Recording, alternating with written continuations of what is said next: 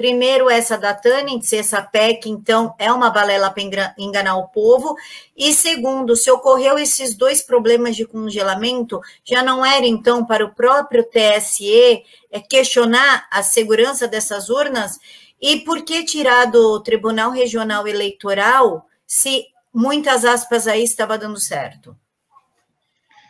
É, eu entendo que foi completamente ilegal fazer a apuração no âmbito do Tribunal Superior Eleitoral, porque a previsão legal expressa é que a apuração deveria ser no âmbito do Tribunal Regional. Então, é uma flagrante ilegalidade.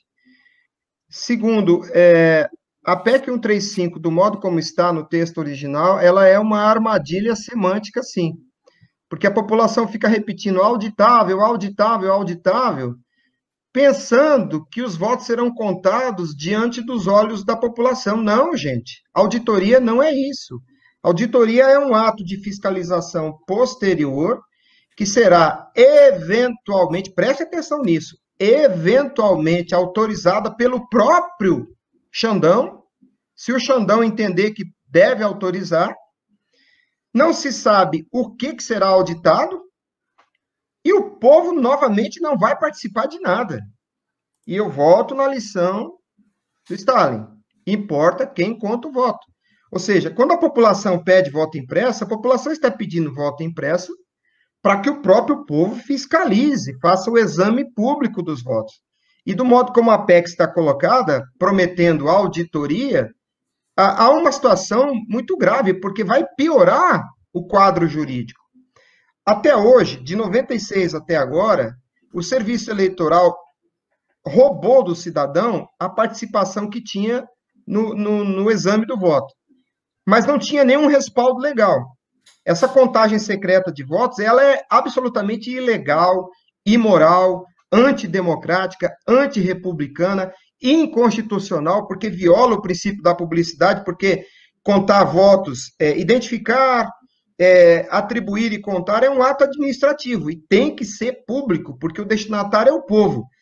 Bom, essa ilegalidade, esse abuso do serviço eleitoral, ele é feito ao arrepio da lei há 25 anos, sem respaldo legal nenhum.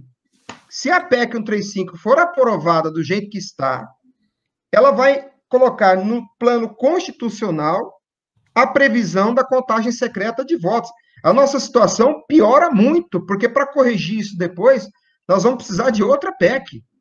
Então, é, é, muito grave o que pode acontecer. Eu queria que as pessoas entendessem isso.